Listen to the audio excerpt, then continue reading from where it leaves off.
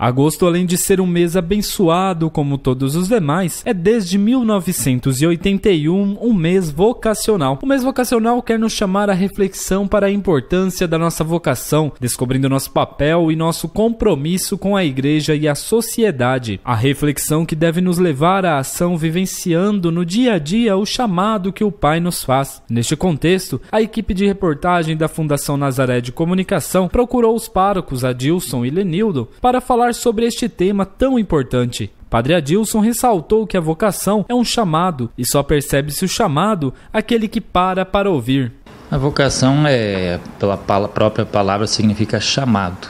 Cada batizado, cada cristão, ele é chamado a uma missão nesse mundo. Deus nos dá graça de sermos seus filhos e filhas, mas ao mesmo tempo nos confere essa missão de vivermos como filhos de Deus e descobrirmos o nosso lugar, a nossa tarefa. Então, vocação é também um responder à missão que Deus nos oferece. Ali, quais são os tipos de vocação que temos dentro da nossa igreja? A diversidade muito grande dos chamados à missão dentro da igreja, mas temos aí algumas vocações específicas, a vocação ao sacerdócio, a vocação à vida consagrada, a... e a vocação também de todos os cristãos leigos batizados que assumem uma tarefa dentro da comunidade na evangelização. Aquela pessoa que tem dúvida da sua vocação, quais são os caminhos mais fáceis para ela estar tá descobrindo a vocação específica dela?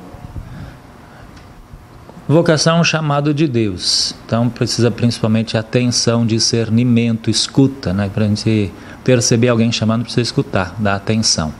E Deus chama as pessoas de diversas formas, não chama uh, como uma outra pessoa falando, falando seu nome, como a história lá de Samuel. Ah, Deus chama, Ele nos interpela na realidade em diversas situações. Alguma situação da realidade, alguma problemática onde nós nos sentimos desafiados a assumir e a tomar uma posição. Então, Deus usa diferentes meios para nos provocar, nos desafiar, nos chamar a assumirmos uma tarefa na nossa vida. Então é importante ter essa escuta.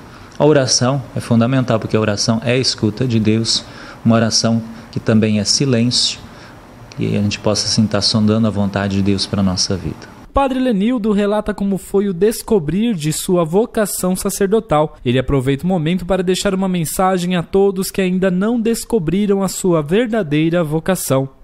A minha vocação ela é uma vocação que não dá nem para explicar porque é um mistério. Então, para ter uma noção, eu fiz recentemente seis anos de padre, mas eu nunca fui um jovem de igreja. Então, a primeira, a, a primeira Eucaristia e a Crisma eu fiz com 22 anos. Nunca participei de igreja, nem de grupo de jovens, nem nada.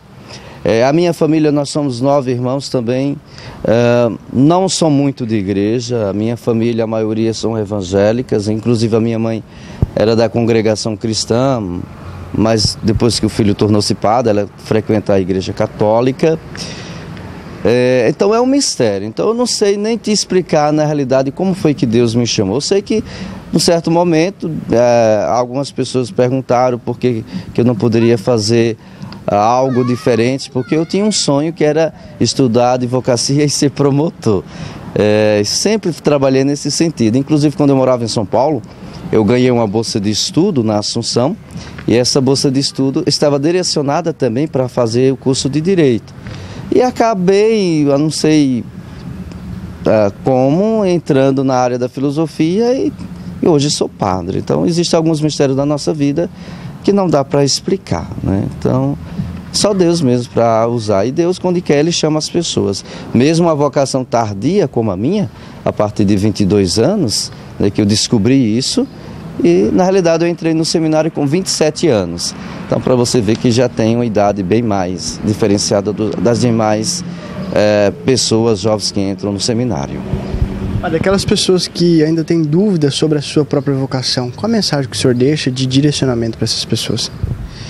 Uma mensagem que é a pessoa que ainda tem dúvidas a respeito da sua vocação, reze, procure um padre, se for o caso, para fazer uma direção espiritual, para ver se se encontra no caminho, o padre vai orientar. É, procure também descobrir o que é que vai fazer feliz, porque nada adianta a pessoa buscar na vida fazer algo que não, que não realiza plenamente. Não é só o dinheiro que realiza a pessoa humana, é fazer algo, mas fazer com carinho, com amor e saber que nós somos instrumentos de Deus. Então, se eu quero ser advogado só porque ganha bem, tem que ter cuidado, que muitas vezes se eu não tenho vocação para o direito, né, eu não vou fazer meu serviço bem. Então, se eu quero ser professor simplesmente por ser, não vai dar certo. Tudo na vida tem que ter vocação.